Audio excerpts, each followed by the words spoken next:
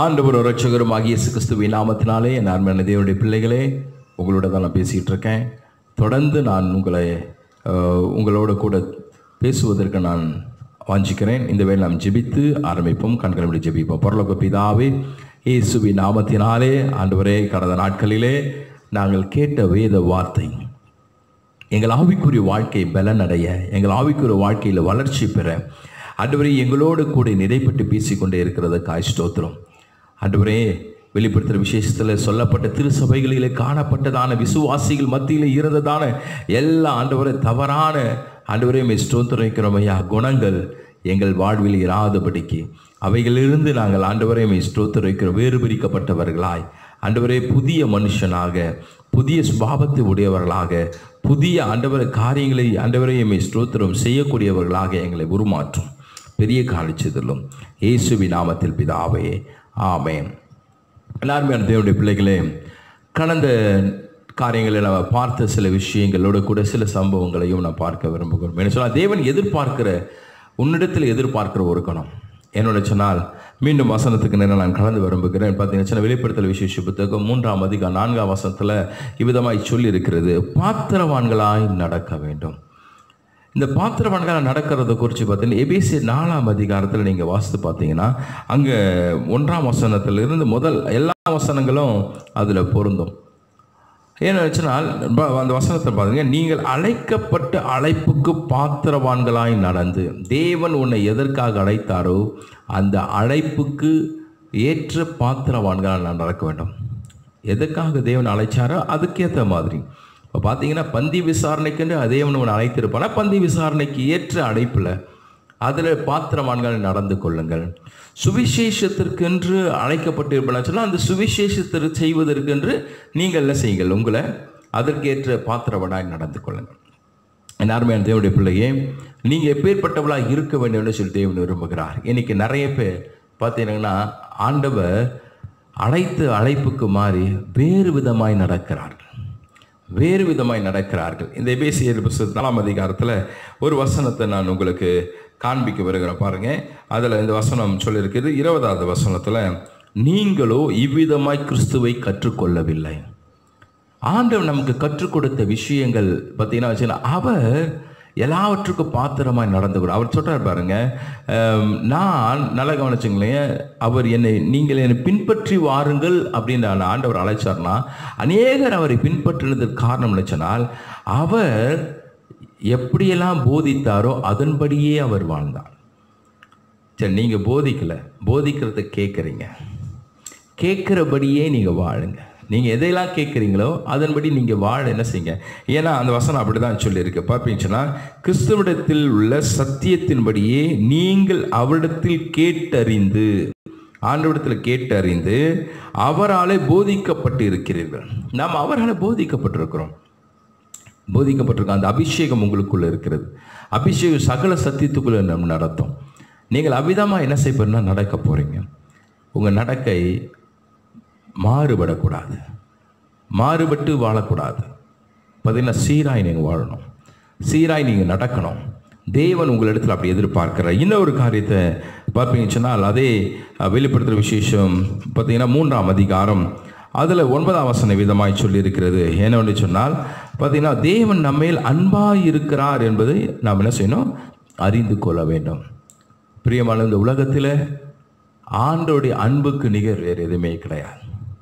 பார்த்தீங்கன்னா அவர் தம்முடைய அன்பை நம்முடைய இருதயங்களை ஊற்றிவிட்டார். நல்லா கொஞ்சம் ரோமரில் அப்படி தான் சொல்லியிருக்கிறது. நம்முடைய இருதயத்தில் தம்முடைய அன்பு அவர் ஊற்றி இருக்கிறார் அவருடைய அன்பு உன்னுடைய இருதயத்தில் அப்படியே ஊற்றிட்டார். பார்த்தீங்கன்னா அந்த அன்பினால தான் நல்ல கவனிச்சுக்கணும் அந்த அன்பு உனக்குள்ளே இருக்கிறதுனால தான் நீ அன்புள்ளவர்களாக நடந்து கொள்கிறீர்கள். நாம் எந்த அளவுக்கு அந்த அன்பில் நம்ம இடத்துல நிறையப்பட்டிருக்கிறோமோ அந்த அளவுக்கு மற்றவர்கள் மேலே நம்ம அன்பு காட்ட முடியும். என் பிரியமானவர்களை தேவன் நம்ம அன்பாக இருக்கிறார் இப்போ நல்ல கவனிச்சுக்கொள்ள ஆண்டவர் சொல்லியிருக்கிறார் ரெண்டு பேர் கடன் பெற்றார்கள். அங்கே பார்த்தீங்கன்னா ஒரு பாவியான ஸ்திரீயுடைய அவள் வந்து தொடுகிறதை பார்த்த உடனே இன்னொருத்தன் சொல்லுகிறான் இவள் யார் என்று அவருக்கு தெரியாதா என்று சொல்லும் பொழுது ஆண்டவர் சுட்டி காட்டுகிறார் ரெண்டு பேரையும் ஒரே ஈக்குவலாக ஒருவன் நூறு வெள்ளி காசோ ஒருத்தர் ஐம்பது வெள்ளி காசுமா என்ன செய்கிறார்கள்? கடன் பெற்றிருக்கிறார்கள். இவர்கள் மன்னிக்கப்பட்டார்கள். இவர்கள் யார் அதிகமாக அன்பு கூறுவார்கள் சொல்லும் பொழுது யாருக்கு அதிகமாக மன்னிக்கப்பட்டிருக்கிறார்களோ அவர்களுக்கு தான் அதிகமான அன்பு உண்டாகும். கொஞ்சம் கவனிங்க. நாம் எந்த அளவுக்கு மன்னிக்கப்பட்டிருக்கிறோம் என்பதை நீங்கள் உணர்வீர்களானால் அந்த அளவுக்கு நாம் என்ன செய்வோம் தெரியுமா? அதிக அன்பு மாறுவோம். நெப்போலியன் என் ராஜாவுடைய சரித்திரத்தில் ஒரு சம்பவம். அதில் பார்த்தீங்கன்னா வச்சுங்கன்னா அங்கே இருந்ததான ஒரு போர் சேவகன். அவன் தன்னுடைய வாழ்நாளில் நிறைய கடன் பட்டு கடைசியில் அவன் என்ன தெரியுமா செய்கிறான்னா அந்த எல்லாவற்றையும் எழுதி விட்டு அவன் என்ன செய்கிறான் தூங்கும் பொழுது. அப்பொழுது நெப்போலியன் அந்த பகுதியாக வரும் பொழுது அவனுடைய அறையில் மாத்திரம் லைட் எறிந்து பார்த்த உடனே அவர் போய் பார்க்கும் பொழுது அந்த இடத்துல இவ்வளோ கடன் பெற்ற நான் என் கடனை அடைப்பவன் யார்? என்று சொல்லும் பொழுது அந்த இடத்துல அங்கே அவர் கையெழுத்து விட்டார். உன் அரசனாகிய நெப்போலியனே உன் கடன் எல்லாவற்றையும் அடைத்து தீர்ப்பார்னு சொல்லி எழுதி கையெழுத்திட்டார். இதை பார்த்த உடனே அந்த போர் வீரன் என்ன தெரியுமா? அவன் தன் ராஜாவுக்காக தன் உயிரையும் கொடுப்பதற்கு. ஏன்னு சொன்னால் தகுதியற்ற என் வாழ்வை நெப்போலியன் ராஜா என் மேலே மனதுருகி என் க என்னுடைய எல்லா கடனையும் அடைத்து தீர்த்தான் சொன்னார் என் ஜீவனை அவருக்காக நான் கொடுக்கக்கூடாதா? நல்லா கவனிச்சுக்கொள்ளுங்க உனக்காக தேவன் தன் ஜீவனையே கொடுத்து உன் மேல் அதிக அன்புள்ளவராக இருக்கிறார் என்றால் நல்லா கவனிச்சு நீ அவர் மேலே எவ்வளோ அன்புள்ளவளாக இருக்கணும்? கொஞ்சம் கவனித்து பாருங்கள். அதே போல் பார்ப்பீங்கன்னா இன்னொரு காரியம் பார்த்தீங்கன்னா உனக்குள்ளதை பற்றி கொண்டிரு. இது மூன்று பதினொன்றில் சொல்லப்பட்டிருக்கிறது. உனக்குள்ளதை பற்றி கொண்டிரு. இன்றைக்கி நிறைய பேர் பார்த்தீங்கன்னா நம்மக்கிட்ட இருக்கிறத கவலைப்படுறதில்ல அடுத்தவங்க கையில் என்ன இருக்குது தான் பார்த்துட்ருப்போம். நம்மக்கிட்ட இருக்கிறது என்ன? பார்த்தீங்கன்னா உனக்குள்ளே நிறைய இருக்குது தேவன் உனக்குள்ளே வச்சிருக்கிற நிறைய காரியங்கள். பார்த்தீங்கன்னா வச்சுக்கோங்களேன் நல்லா கவனித்துக் கொள்ளுங்க. உங்களுக்கு ஒரு காரியத்தை காண்பிக்கிறேன். ரெண்டு பேரும் தேவனால் அபிஷேகம் பண்ணப்பட்டவர்களாம். ஒருவன் தாவிது இன்னொருத்தன் சவுல். சவுலும் தேவனால் அபிஷேகம் பண்ணப்பட்டவன் தான். ஒரே தேவனுடைய மனுஷனாலே. அது பார்த்தீங்கன்னா சாமுவேல் என்கிற தீர்க்கதரிசி மூலமாக சவுலை ஆண்டவர் அபிஷேகித்தார். அதே போல் சாமுவேல் தீர்க்கதரிசி கொண்டு தாவிதை அபிஷேகித்தார். ஆனால் ரெண்டு பேருக்குள்ள ஒரு வித்தியாசம் என்ன நினச்சினால் சவுல் தாவீதத்தில் இருக்கிறதையே தான் பார்த்துக்கிட்டு இருந்தான். தாவிதுகிட்ட என்ன இருக்குது என்ன இருக்குது என்ன இருக்குது என்ன இருக்குது அதை பார்த்துக்கிட்டே இருக்கிறதுனால அவனுக்குள்ளே இருக்கிற அந்த அபிஷேகத்தை ஆண்டவர் அவனுக்கு வைத்திருந்ததான தாளந்து அவன் பார்க்கல. ஆனால் தாவிது நல்லா கவனிச்சுக்கொள்ளுங்க. மற்ற யாரையும் பார்க்கல. அவன் பார்த்ததில் ஒன்றே ஒன்று தேவனை மட்டும்தான். தேவன் எனக்குள்ள தந்ததை பார்த்தான். நல்லா கவனிச்சு தேவன் தனக்குள்ள என்ன கொடுத்தான்னு சொன்னால் அவன் க அவன் கற்றுக்கொண்ட ஒரு விஷயம் தேவன் தனக்கு கொடுத்தது என்ன அப்படின்னு சொன்னால் தேவனை எப்போதும் பாடிக்கிட்டே இருக்கிறது. ஆண்டவர் துதிக்கிறது ஆண்டவர் ஆராதிக்கிறது. அது மாத்திரமல்ல தன் திறமைகளை வளர்த்துக்கிட்டான். ரெண்டாவது எந்த எந்த சந்தர்ப்பத்திலும் எந்த சூழ்நிலையிலும் அவன் என்ன தெரியுமா செய்யணும் சோர்ந்து போகல தன்னை கத்தருக்குள் திடப்படுத்தி கொண்டான். ரெண்டாவது கத்திரிடத்தில் போய் விஸ் கேட்டறிந்து விசாரித்தான். நான் நடுவரை இதை செய்யணுமா செய்யக்கூடாதா என்பதையெல்லாம் குறித்து அவன் கேட்டறிந்தான். இதை நல்லா கவனிச்சுக்கொள்ளுங்க. அதனால தான் சவுளோட ராஜ்யம் அழிக்கப்பட்டது தாவிதோட ராஜ்யம் நிலை பெற்றது காரணம் தெரியுமா? தனக்குள்ளே இருக்கிறதை அவன் பற்றி கொண்டான் தேவன் உனக்கும் கொடுத்திருக்கிறதை பற்றிக்கொள். ஐயோ அவனை போல என்னால் பாட முடியலையே. உண்மைதான் அவனை போல உன்னால் பாட முடியாதான் ஆனால் உன்னை போல அவனால் ஜெபிக்க முடியாது. உனக்கு தேவன் ஜெபிக்கிற அபிஷேகத்தை கொடுத்துருப்பார். பார்த்தீங்கன்னா சின்ன ஒரு சிலருக்கு பாடுகிற அபிஷேகத்தை கொடுத்துருப்பா. ஒரு சிலருக்கு ஆலோசனை கொடுக்குற அபிஷேகத்தை கொடுத்துருப்பா. ஒரு சிலர் நல்ல பிரசங்கம் பண்ணுறதுக்கு அபிஷேகத்தை கொடுத்துருப்பா.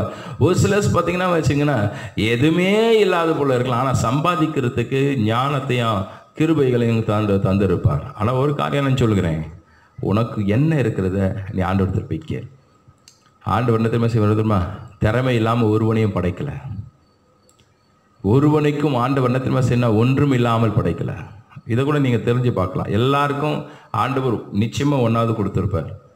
பார்த்தீங்கன்னா வச்சுங்கன்னா அது ஊமை மூலமாகவே சொல்கிறார் ஒருத்தனுக்கு அஞ்சும் ஒருத்தனுக்கு ரெண்டும் ஒருத்தனுக்கு ஒன்றும் ஏன் தெரியுமா? ஏன் அந்த வேறுபாடு? வேறுபாடு இல்லை. அவன் அவன் திறமை.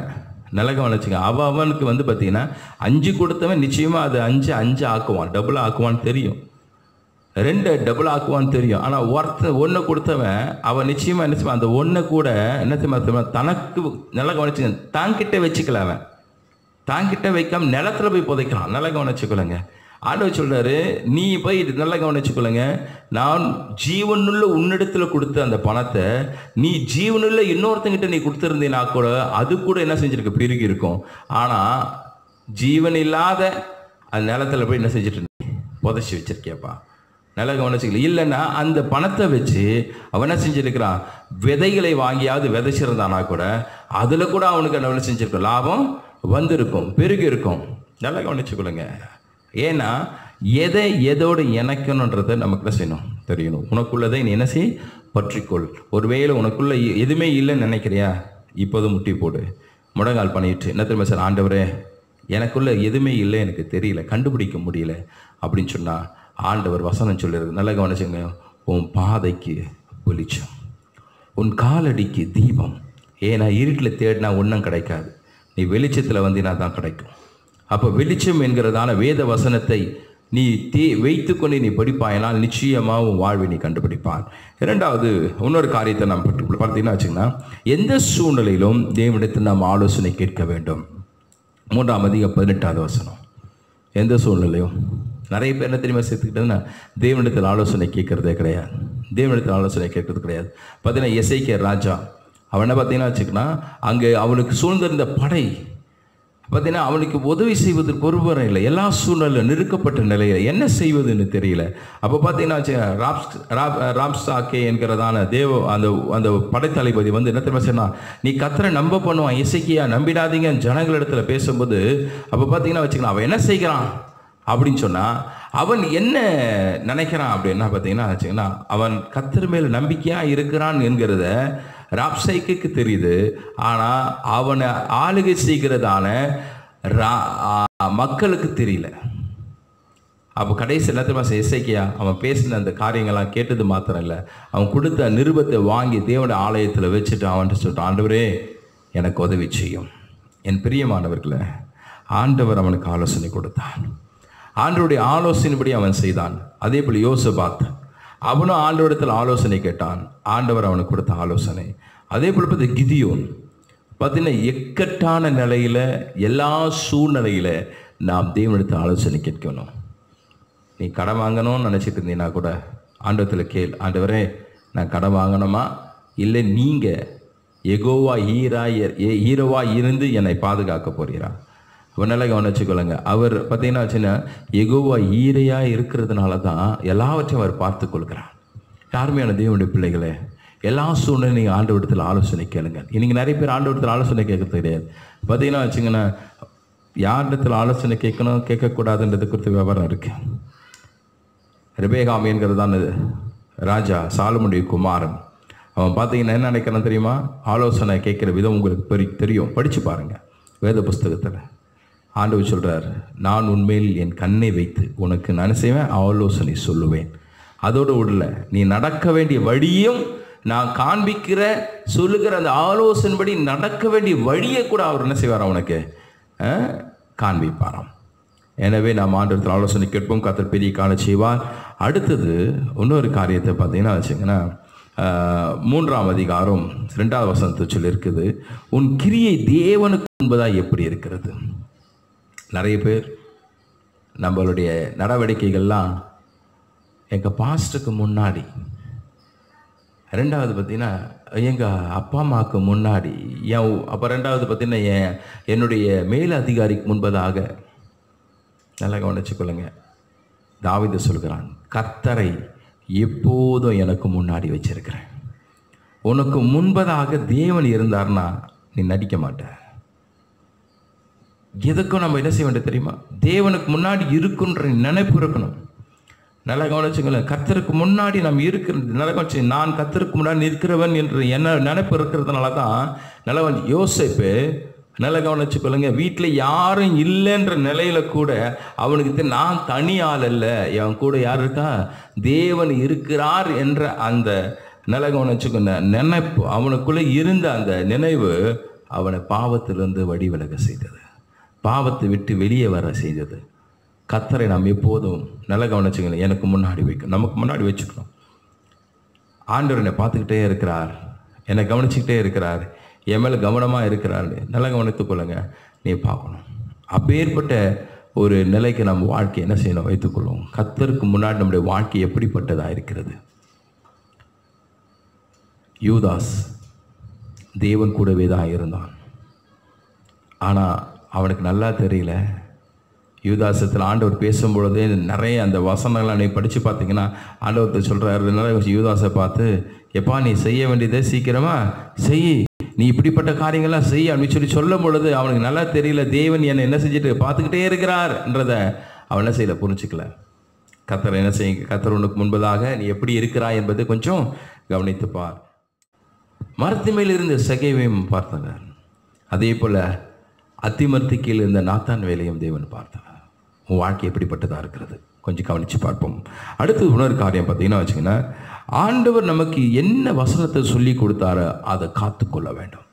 ஆண்டவர் சொன்ன வார்த்தை அப்படியே பிடிச்சிக்கிட்டு நம்ம வாழ கற்றுக்கொள்ளணும் என்பதுதான் மூன்றாம் அதிகாரம் எட்டுலேருந்து பத்து வசனங்கள் வரைக்கும் சொல்லியிருக்கு. கடைசியாக ஒரு வசனத்தை நான் சொல்லி முடிக்க விரும்புகிறேன். இன்றைக்கி நிறைய பேர் இந்த வார்த்தையை ஏற்றுக்கவே மாட்டாங்க. ஒத் ஏற்றுக்கவே மாட்டாங்க. அது என்ன வார்த்தை தெரியுமா? பார்க்குறீங்கன்னா மூன்றாம் அதிகாரம் பதினேழாவது வசனம். என்ன வச்சுன்னா உண்மையை ஒத்துக்கொள்ளணும். நீ ஒத்துக்கொள்ளணும். உண்மையை ஒத்துக்கணும். இந்த ஒத்துக்கொள்ளாதான் பிரச்சனையே? இதுக்கு ஒரு வசனத்தை நான் உங்களுக்கு படித்து காண்பிக்க வேண்டும். எரேமியாவின் தி- புஸ்தகத்தில் பார்த்தீங்கன்னா மூன்றாம் அதிகாரம் அதில் பதிமூன்றுலேருந்து பதினைந்து வசனங்கள் வரைக்கும் நான் வாசிக்கிறேன் பாருங்கள் எபே- எரேமியா தீர்க்கச புஸ்தகம் மூன்றாம் அதிகாரம் பதிமூன்றிலிருந்து பதினைந்தாவது வசனம் வரைக்கும். இப்போ பாருங்கள் நான் வாசிக்கிறேன். நீயோ உன் தேவனாகிய கர்த்தருக்கு விரோதமாய் துரோகம் பண்ணி பச்சையான சகல மரத்தின் கீழும் அந்நியரோடு சோர சோரமார்க்கமாய் நடந்து உன் அக்கிரமத்தை என் சத்தத்திற்கு செவி கொடாமல் போனதையும் ஒத்துக்கொள் என்று கத்த சொல்லுகிறார். சீர்கெட்ட பிள்ளைகளே திரும்புங்கள் என்று கர்த்தர் சொல்லுகிறார்.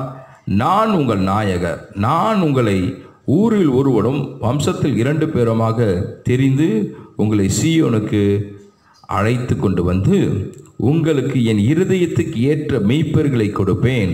அவர்கள் உங்களை அறிவோடும் புத்தியோடும் மெய்ப்பார்கள். நீ ஒத்துக்கிட்டினா ஆண்டவரே இதெல்லாம் உண்மைதான் ஏன்னு சொல்லி நீ ஒத்துக்கிட்டினா உன்னை அறிவோடவும் நல்லா கவனிச்சுக்கொள்ள. புத்தியோடவும் நல்ல நல்லா கவனிச்சுக்கொள்ளுங்க. அப்படி நடத்தக்கூடிய ஒரு மெய்ப்பரை ஆண்டவர் உனக்கு தருவார். உன் சபை பாஸ்டர் அப்படி மாற்றிடுவார் நீ ஒத்துக்கிட்டினா ஆண்டவரே நான் இப்படிப்பட்ட காரியம் தான் ஆமாம் ஆண்டவரே நான் அக்கிரமக்காரன் தான் நான் வந்து மோசமானவன் தான். இப்படிப்பட்ட நிலையில் இருக்கிறேன். எனக்கு ஆலோசனை சொல்லுங்க. எப்படி உன் வாழ்க்கையை நீ ஆண்டவருக்கு நீ ஒத்துக்கிட்டினா ஒ- ஒப்பு கொடுத்தினா ஆண்டவர் என்ன தெரியுமா?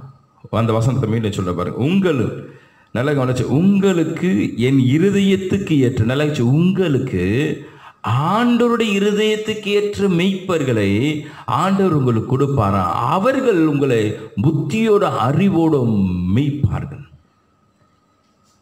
இன்னைக்கு உங்க மெய்ப்பரை நல்ல கவனிச்சு நீங்க ஏற்படுத்துறதில்ல. இனி ஒரு சில இடத்துல சொல்லியிருக்கு. சிலர் கூலிக்கு நல்ல கவனிச்சுக்கொள்ளுங்க உபதேசிப்பதற்கான மெய்ப்பர்களை ஏற்படுத்துகிறார்கள். நீங்கள் நிறைய பேர் காசு கொடுத்து எங்களுக்கு பாஸ்ட் ஆகிருங்க அப்படின்னு சொல்லி நிறைய பேர் என்ன செய்யணுமா? சிலருக்கு காசு கொடுத்து அந்த சபைக்கு அவங்கள பாஸ்டாக ஏற்படுத்திடுறாங்க.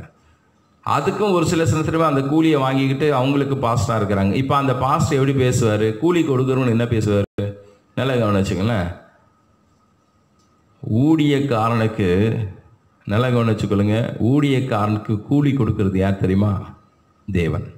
வேதம் சொல்லியிருக்கு வேலையால் தான் கூலிக்கு பாத்திரவனா இருக்கான் நீ தேவ ராஜ்யத்திற்கு நீ கூலி நிலை வச்சு தேவ ராஜ்யத்திற்கு நீ சரியான வேலையை செய்வானால் பாத்திரவனா இருந்தால் கூலிக்கு நீ பாத்திரவனா இருப்ப தேவன் தருவான் எனவே என் அருமையான தேவனுடைய பிள்ளைகளை கொஞ்சம் கவனித்து பாருங்கள் இதெல்லாம் கொஞ்சம் யோசித்து பாருங்கள் உங்கள் வாழ்க்கை ஆண்டவரத்தில் ஒப்பு கொடுங்க ஒத்துக்கொள்ளுங்க. உண்மையை ஒத்துக்கணும். உண்மையை ஒத்துக்கோ நீ ஒத்துக்கிட்டீங்கன்னா இறைமையாவில் சொன்னது போல் நீ ஒத்துக்கொள் ஆண்டவர் உன்னத்தில் எதிர்பார்க்கிறார். எப்போ நம்ம ஒத்துக்கிறோமோ அப்பொழுது தான் ஆண்டவர் உனக்கு இரக்கத்தையும் உனக்கு ஆண்டவர் மன்னிப்பையும் அருளுவான் கண்களுடைய ஜெபிப்போமா? ஜெபிப்போம். பரலோக பிதாவே இயேசுவின் நாமத்தினாலே ஆண்டவர் விசுவாசிகளாக எங்களுக்கு ஆண்டவரே மை ஸ்தோத்திரிக்கிறோம். உண்மையை நாங்கள் ஒத்துக்கொள்கிறோம். நாங்கள் எந்த நிலையிலிருந்து நாங்கள் விழுந்தோம்? எதை எதெல்லாம் நாங்கள் செய்யாமல் விட்டு விட்டோம் எதை எதெல்லாம் நீங்கள் எதிர்பார்த்தீங்களோ அதையெல்லாம் ஆண்டவரை செய்யாமல் ஆண்டவரை எங்கள் சுய இச்சையின்படி சுய புத்தியின்படி சுய ஆண்டவரையுமே ஸ்தோத்தரிக்கிறோம் ஐயா. காரியத்தின்படி நாங்கள் செய்து சீர்கிட்டு போகிற நாங்கள் ஆண்டவரையுமே ஸ்தோத்திரம். மீண்டும் உம்மிடத்தில் திரும்பி வருகிறோம். சீர்கிட்ட பிள்ளைகளை திரும்புங்கள் என்று கத்த சொல்லுகிறான்னு சொன்னது போல நான் உங்கள் நாயகர். ஆண்டவர் நீர் எங்கள் நாயகராக இருக்கிறபடினாலே நாங்கள் உம்மிடத்தில் திரும்பி வருகிறோம். எரேமியால வாசிக்கிறோமே ஆண்டவரே. மூன்றாம் அதிகாரம். ஆண்டவரே மை ஸ்தோத்தரிக்கிறோம். பதிமூன்றாவது வசனத்திலிருந்து பதினைந்தாம் வசனத்து வரைக்கும் சொல்லப்பட்டவர்களை திருப்பி திருப்பி நீங்கள் வாசிக்கும் பொழுது ஆண்டவரே நீர் எங்கள் நாயகராயிருக்கிறீர். ஆண்டவர் அந்த நாயகருக்கு எங்கள் வாழ்க்கையை ஒப்பு கொடுக்கிறோம். சீர்படுத்தும் சரிப்படுத்தும் உமக்கு பிரியமான பிள்ளையாய் என்னை உருமாற்றும். இயேசுவின் நாமத்தில் பிதாவே. ஆமேன் ஆமேன். நான் ஆண்டவராக என் அருமையான தேவனுடைய பிள்ளைகளே உங்களை மீண்டும் வாழ்த்துகிறேன். அடுத்த காரியங்கள் நான் மீண்டும் பார்க்க போகிறோம். இந்த திருச்சபையில் இருக்கிற விஷயங்களை திருப்பி நீங்கள் வாசித்து பாருங்கள். திரும்பி திரும்பி வாசிங்கள். அது உங்கள் வாழ்வை கட்டுவிக்கும். உங்கள் வாழ்க்கையை ஆசீர்வாதத்தின் பாதை நடத்தும். தேவன் உங்களை ஆசீர்வதிப்பாராக. ஆமாம்